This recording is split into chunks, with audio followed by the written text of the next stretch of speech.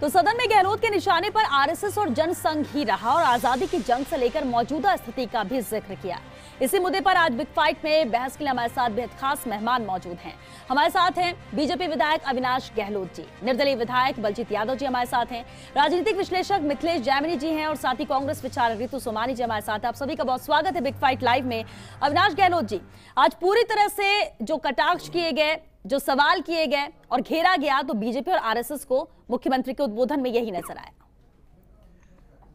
क्योंकि लगत, लगातार बीजेपी की तरफ़ से सवाल उठाए जाते रहे हैं और कहीं ना कहीं वो जवाब ही था।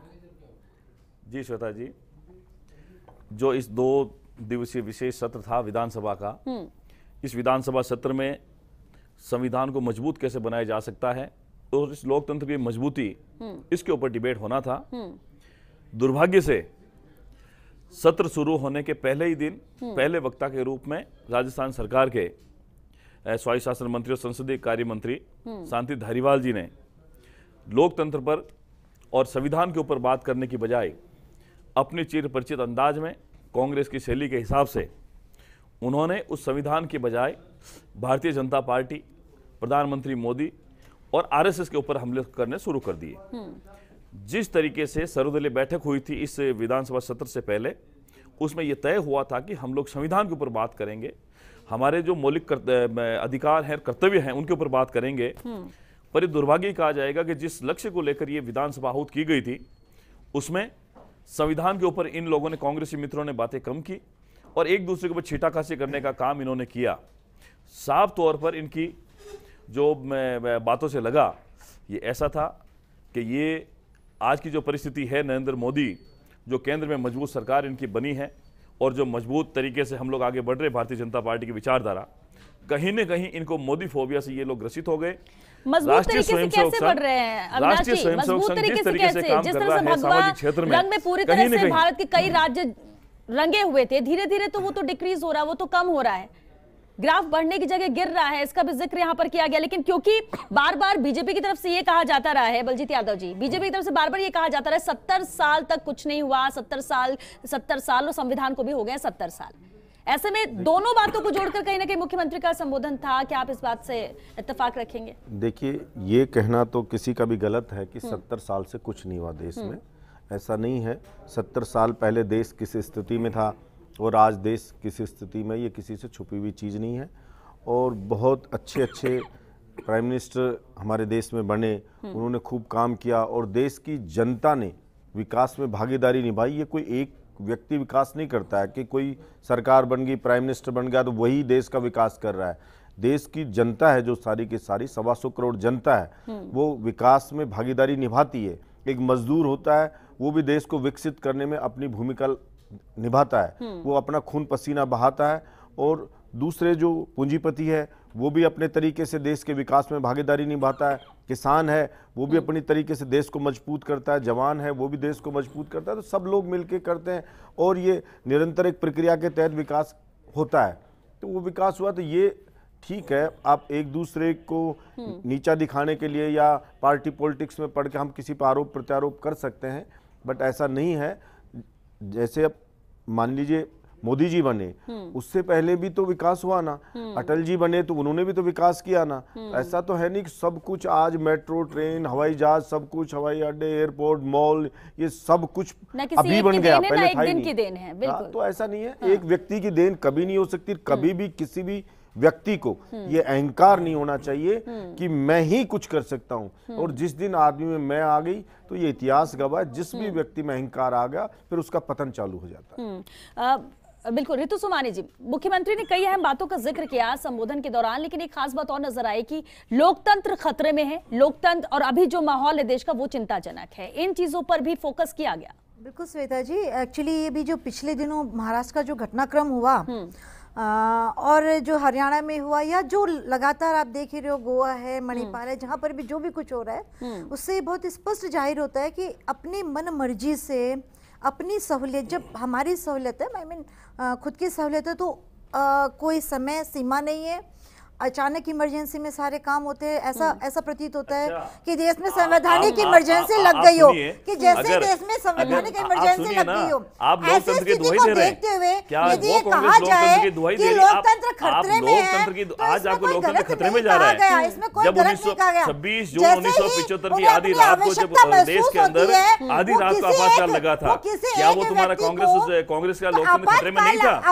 1984 को आपातकाल 1984 को लगा था। रात लेकिन को लेकिन जी महाराष्ट्र में जो हुआ महाराष्ट्र में जो हुआ, आप सुनिए ना मेरी बात। आप लोकतंत्र की नहीं लगा हुआ था लोकतंत्र आपातकाल नहीं लगा हुआ था। लोकतंत्र को लेकिन मज़बूत करने ऐसे का प्रस्तुत काम और की उसको कमज़ोर करने का काम सब देखिए ना आप। आपातकाल हो। उन्नीस सौ चौरासी की उनतीस 84 नवंबर से लेकर तीन अक्टूबर की। रात को जिस तरीके से सिखों का कत्लेआम हुआ था कि आपको उसमें लोकतंत्र की दुआई नहीं होगी?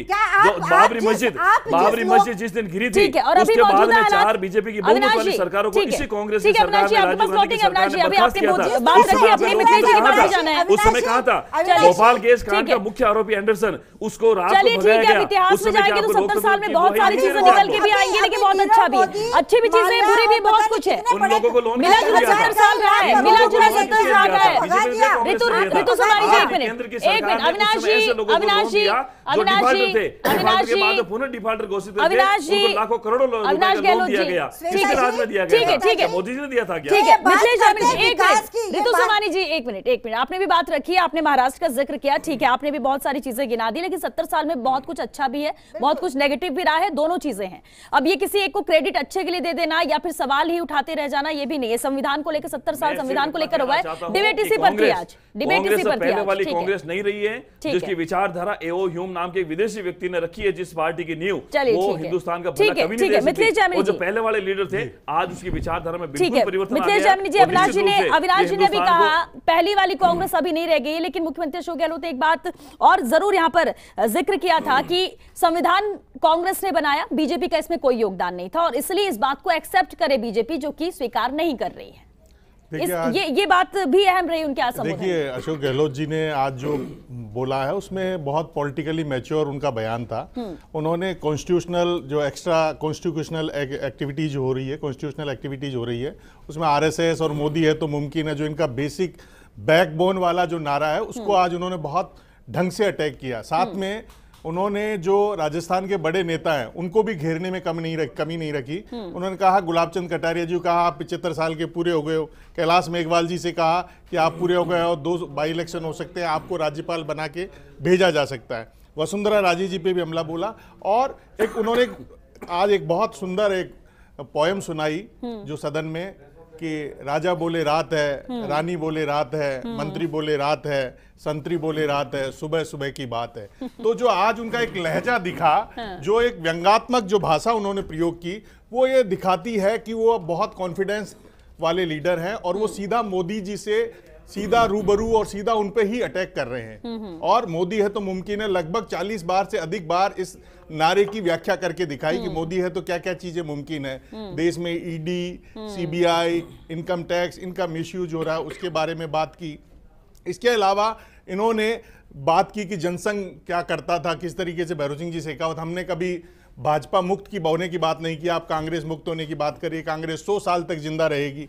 अशोक गहलोत ने आज जो भाषण दिए वो बहुत मैच्योर थे। इससे पहले जो नेता प्रतिपक्ष कटारिया जी ने जो बोला उसको भी उन्होंने घेरा कि राम मंदिर में सीजीआई को भी उन्होंने आज नहीं बख्शा जो रंजन गोगाई जी जो सेवानिवृत्त हो गए हैं कि जब वो सीजीआई नहीं बने थे उससे पहले चार जजों ने एक प्रेस कॉन्फ्रेंस की थी उसमें आरोप लगाया था कि देश की लोकतंत्र खतरे में है। आज उन्होंने फैसला दे दिया। उसके बाद वो आकर बताया कि उन्होंने ऐसा क्या किया। तो सीजीआई अब तो कॉमन आदमी हो गए रिटायरमेंट के बाद। तो कुल मिला के आज अशोक गहलोत ने जुडिशरी लेजिस्लेचर और विधायिका कार्यपालिका और न्यायिका न्यायपालिका तीनों पर बहुत ढंग से अटैक किया। इसके साथ साथ ये भी उन्होंने बताया कि आप जो संविधान में जो फ्रीडम ऑफ़ एक्सप्रेशन का आर्टिकल 19 वन में आपको पावर मिला हुआ है उसका आप मिसयूज नहीं करें। इसी संविधान में आर्टिकल 21 में ये कहा है कि आपकी जो ओपिनियन है उसकी वजह से किसी दूसरे की प्राइवेसी दखल नहीं हो। इसके अलावा उन्होंने 51 आर्टिकल 51 के में एक चीज़ लिखी हुई है मूल करते हुए उनकी भी बात की। और ये कहा कि जो संविधान है इसमें 70 साल में काफ़ी सारा काम हुआ यानी है। यानी सत्तर साल में लोकतंत्र किस तरह का था? अब लोकतंत्र खतरे में है इसका ज़िक्र किया। सत्तर साल में क्या कुछ बेहतर हुआ है? कांग्रेस ने कैसे मज़बूत देश को किया उसका ज़िक्र किया। लेकिन साथ ही साथ मौजूदा हालात बीजेपी और आरएसएस पर भी सवाल यहाँ पर उठा उनके संबोधन में ये कुछ अहम बातें रही है। लेकिन अविनाश गहलोत जी घेरा, ठीक है, इन तमाम मुद्दों को लेकर है, लेकिन कहीं ना कहीं एक शक्ति प्रदर्शन भी नज़र आया। एक बिगुल नज़र आया पंचायत चुनाव को लेकर, जो आज सड़क पर प्रदर्शन भी रहा है कांग्रेस की तरफ़ से, जब पैदल मार्च यहाँ पर किया गया। उत्साहित वो है, जोश में है, क्योंकि निकाय चुनाव उनके फेवर में आया है। अब इन सबको देखते हुए बीजेपी किस तरह से मजबूती के साथ आगे उठ रही है? आगे बढ़ रही है। निकाय चुनाव में ठीक है, पीछे रही, लेकिन पंचायत चुनाव में किस तरह से आगे बढ़ेगी? क्या इसे लेकर भी अब कुछ रणनीति बन रही है? जी। जिस मुद्दे को लेकर आप बात कर रहे हैं हाँ। आज जिस तरीके से कांग्रेस ने केंद्र की आर्थिक नीतियों को लेकर जो धरना प्रदर्शन किया मैं आपसे एक बात पूछना चाहता हूँ। मीडिया की आपने बात कही यहाँ मैं जिस चैनल के मीडिया ऑफ़िस बैठ के बात कर रहा हूँ क्या फ़र्स्ट इंडिया वालों को कभी बीजेपी ने या पार्टी ने कभी कहा है कि आपके ऊपर कभी कोई प्रतिबंध लगाया है? कभी आपको विचार रखने से रोका आपको कभी यहाँ? दूसरे और चैनल वालों से पूछ लीजिए। इस तरह की बचकाना हरकत करने से आपका भला नहीं होगा ना प्रदेश की जनता का भला होगा। दूसरा मुद्दा जिस आर्थिक नीतियों को लेकर आपने आज धरना दिया क्या आपने उससे पहले राजस्थान की आर्थिक नीतियों को देखा? पिछले दस महीने में जब से ये सरकार बनी है ग्यारह महीने में ये प्रदेश आर्थिक आपातकाल की ओर बढ़ रहा है। इसका ताज़ा उदाहरण मैं बताता हूँ कि चौदह वित्त आयोग का पैसा जो हमारी केंद्र की सरकार का पैसा है जो पहले सीधा ग्राम पंचायतों के खाते में आता था आज क्या हालत कर रखी है आपने? पिछले दो महीने से केंद्र ने पैसा वो दिया और पंचायत समिति में पंचायत समिति मैं बता रहा हूँ पंचायत समिति में कर दिया और उसके ऊपर खाते के ऊपर रोक लगा दी। बेचारे जो ग्रामीण विकास के काम है उनको है, पैसे ही नहीं दिया जा रहा है। क्या करेंगे आप बताइए। पिछले पाँच साल सब कुछ ठीक था ये पिछले दो महीने से इस तरह के हालात है पिछले नौ महीने से जब से ये कांग्रेस की सरकार बनी सवाल उस पर उठा रहे हैं अविनाश जी। पिछले पाँच सालों में सरकारी नौकरियाँ बिल्कुल नहीं दी गई है भर्तियाँ नहीं हुई है और तो ये जो इस सरकार पे आक्षेप लगा रही है शायद न्यूज़पेपर नहीं पढ़ते हैं इस सरकार ने खिलाड़ियों को लिए भी ये पहला प्रदेश है राजस्थान जिसमें खिलाड़ियों के लिए इस तरह का प्रावधान किया गया है जिसमें इस तरह के प्रावधान पैसा किया गया भेजा है जी केंद्रीय वित्त आयोग ने जो पैसा भेजा पता करिए एक बार आप पता करके आइए अगर आपकी जानकारी नहीं आप पता करके कर जाइए पता चौदह चौदह वित्त आयोग का पैसा है आपने क्यों नहीं ग्राम पंचायतों को भेजा है? कौन सी बात कर रहे हैं आप? जब पैसा आपने ग्राम पंचायत भेजा नहीं इस देश की सत्तर परसेंट आबादी जिस ग्रामीण ग्रामीण इलाकों में निवास करती है उनका उनका विकास कैसे होगा? आप बताइए ना आपके मन में कहीं ना कहीं डर है। इसलिए आपने इसलिए आपने दो हज़ार ग्यारह की जनगणना के आधार पर आपने आपने दो हज़ार उन्नीस के अंदर ग्राम पंचायतों का परिश्रम आप ये कहना चाह रहे हैं कि पाँच साल तक सब कुछ ठीक था कांग्रेस की सरकार आने के बाद आपको डर चीज़ें बिगड़ गई। कुछ हुआ नहीं। चलिए ठीक है ठीक है, उसके बाद कर सकते थे ना ऐसा क्या था आपको कम से कम चलिए, ठीक है। प्रदेश की कांग्रेस सरकार को। पहले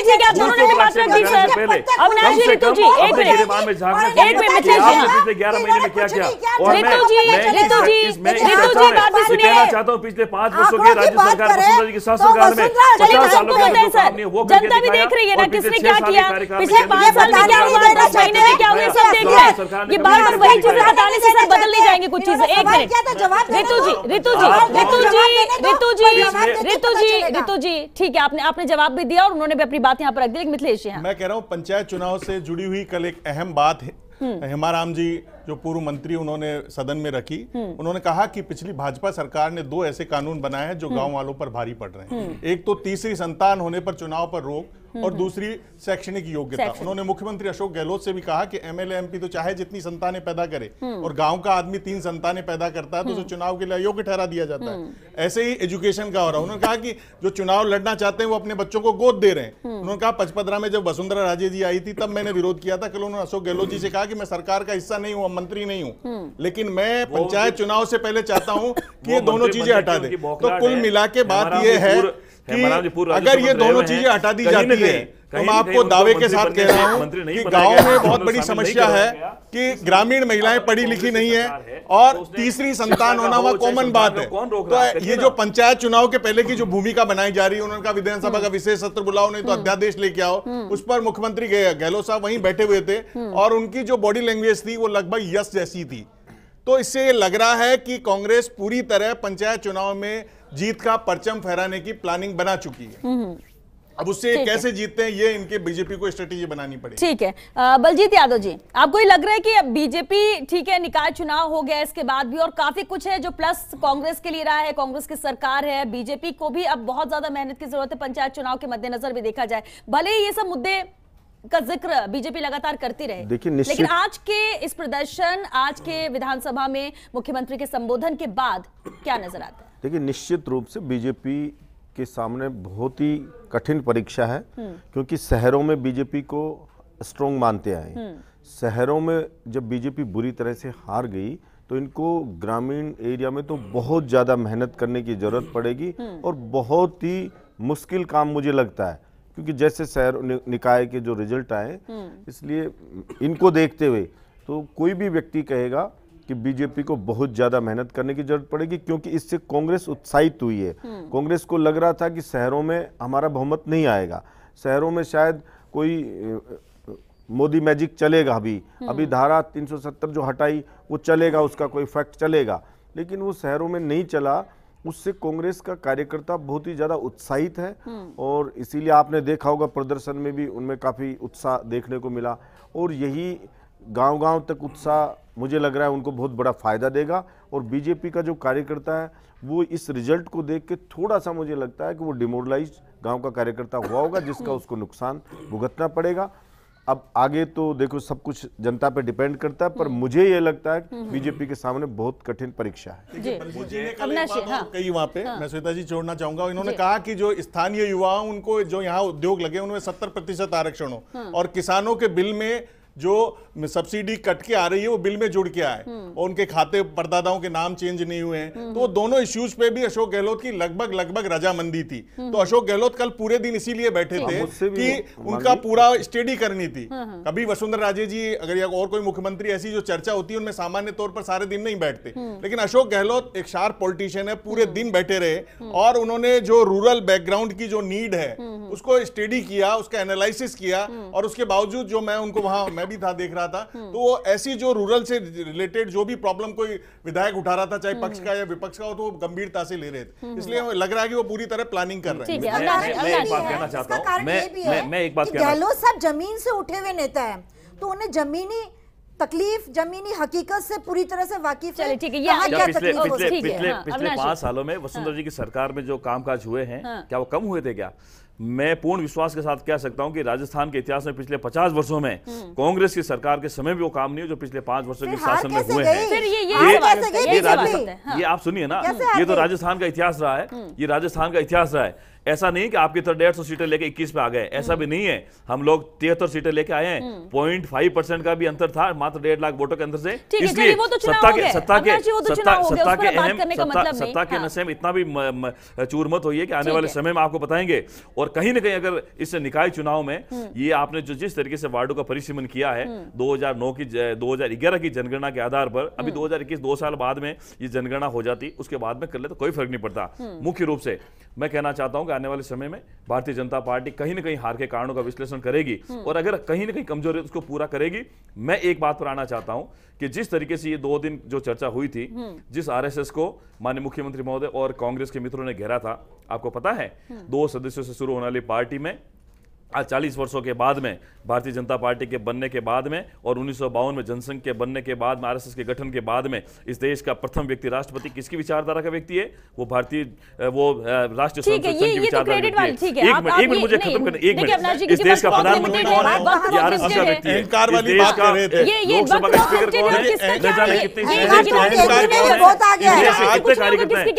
शाखाओं से निकला क्या है, हम उस पर संघ की कर रहे हैं। शाखाओं से निकला व्यक्ति ऐसा नहीं होता है। हमेशा उसके मन में सदन में अशोक गहलोत जी पहले मुख्यमंत्री हैं। के प्रति जो बार-बार बोल रहे थे, तो अध्यक्ष को मुख्यमंत्री आपके बोल रहे थे। तो उन्होंने कहा कि मेरी ज़ुबान से मुख्यमंत्री निकल रहा पता नहीं कल क्या के है। व्यक्ति थे। तो ऐसी बात बोलना हर किसी की बस की बात नहीं अगर अहंकार ही मुख्यमंत्री होता, तो ऐसा बयान नहीं दे सकता था। ये जो बयान है, ये दिखाता कि सामाजिक संगठन में काम करने का मैं एक छोटा सा उदाहरण आपको देता हूँ हाँ। आज कश्मीर के अंदर जब पत्थरबाज पत्थरबाजी करते रहे बाढ़ आती है सबसे पहले संघ का स्वयं सेवक पहुँचता है केरल में बाढ़ आती है वो स्वयं पहुँचता है आपके आपके कांग्रेस सेवा स्वागत अगर एक भी कार्यकर्ता अगर पहुँचता हो तो बता दीजिए वहाँ पहुंचाओ इसलिए ये सामाजिक सरोकार का काम अगर कोई करने का कार्य करती है वो आरएसएस कर, करती है सामाजिक संस्था करती है सवाल भी का लेकर उठ रहे हैं लेकिन ठीक है आपने कहा कि पाँच साल में बीजेपी ने जो काम किए वो पहले कभी नहीं हुआ चलिए ये भी मान लेते हैं। अगर मान और आपने कहा कि हार गए इसकी वजह ये है क्योंकि पाँच साल का इतिहास कैसे इतिहास रहा है? जनता भी तो देख रही है। अगर काम हो रहे होंगे तो उसे तो वैसे ही सरकार चाहिए जो काम करे जो उसकी सुने।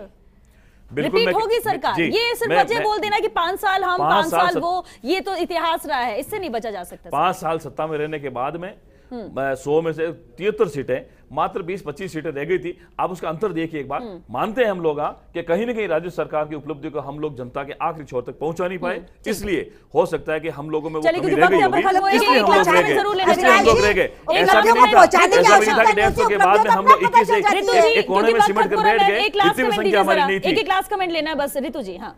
रितु जी एक एक लास्ट कमेंट उपलब्धि को पहुँचाने की आवश्यकता नहीं थी यदि काम किया तो जनता को पता चल जाता हमारे लिए काम फिर किया फिर आपके मुख्यमंत्री आज किस लिए धरना दे रहे थे? ठीक है। अगर हमारे केंद्र की नीतियों के खिलाफ किस लिए दे रहे थे?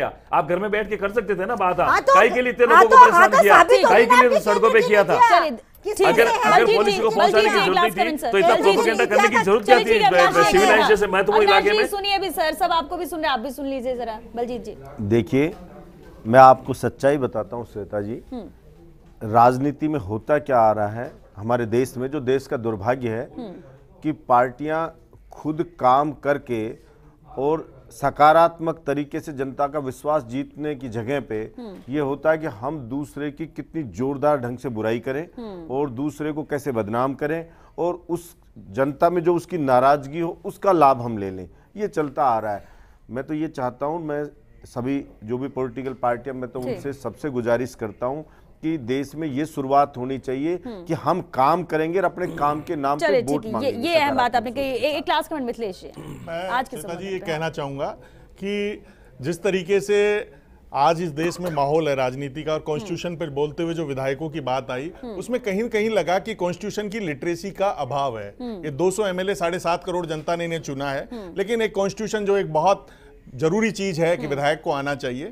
तो इससे दो दो दिन की बहस से मुझे जो लगा है वो ये लगा है कि कॉन्स्टिट्यूशन की ट्रेनिंग देने की ज़रूरत है क्योंकि कई विधायक तिरंगे में तीन जो रंग है उनका क्या महत्व है? ऐसे कई छोटे छोटे सवाल नहीं बता पाए। तो इस पर भी चर्चा होनी चाहिए कि सत्तर साल बाद जो देश का हमारा प्रतिनिधित्व कर रहा है जो संविधान बहुत पवित्र चीज़ है उसके बारे में पूरी तरह से जाने और जाति और बिल्कुल। धर्मविहीन समाज बनाने की जो कल्पना है वो पूरी कर सके। तो इसलिए एक एक ऐसा कोई कैंप लगाया जिसमें जो नए विधायक आए वो उन्हें उन्हें भी संविधान के बारे में बताया जाए। संविधान की जानकारी उन्हें पूरी तरह से हो क्योंकि विधानसभा में बैठे हैं वक्त वक्त खत्म हो रहा है एक, दस सेकंड के लिए कहना चाहता हूँ कि जिस शुरुआत हुई थी। संसदीय कार्य मंत्री ने बाबा साहब भीमराव अंबेडकर जी के बारे में जिस तरह की बात कही थी निश्चित रूप से ये कल की जो था और संविधान को कलंकित करने का जो उन्होंने काम किया था ये राजस्थान प्रदेश की जनता कांग्रेस को कभी माफ़ नहीं चलिए जनता जनता तो सब देख रही है सबको सुना भी है विधानसभा में किसने क्या कहा क्या सवाल उठाया और संविधान को लेकर क्या विचार व्यक्त किए वो भी सुने। चलिए बहुत शुक्रिया आप सभी का इस चर्चा में शामिल होने के लिए। तो सत्तर साल संविधान को हो गए इसी को लेकर ही चर्चा। दो दिन विधानसभा में चली आज उद्बोधन था। मुख्यमंत्री अशोक गहलोत का तमाम अहम बातों का ज़िक्र उन्होंने किया लेकिन साथ ही साथ ये भी कहा कि कांग्रेस की देन है। कांग्रेस का योगदान संविधान बनाने में रहा है, ना कि बीजेपी का रहा है और फिर इस बात को बीजेपी एक्सेप्ट क्यों नहीं करती? इसके अलावा खास तौर पर टारगेट पे अगर कोई रहा तो बीजेपी और आरएसएस रही है। दूसरी तरफ़, खुश भी नज़र आया जब सड़क पर इस तरह से आंदोलन और किया गया पैदल मार्च निकाला गया। ये जीत का कहीं ना कहीं एक बिगुल फूका है पंचायत चुनाव के मद्देनजर कि अब हम निकाय चुनाव तो जीत चुके और पंचायत चुनाव के लिए बिल्कुल तैयार है। हालाँकि आने वाले वक्त में बड़ी चुनौती बीजेपी के लिए यहाँ पर ज़रूर रहने वाली है। चलिए इसी साथ बिग फाइट लाइव में आज के लिए बस इतना है। नमस्कार।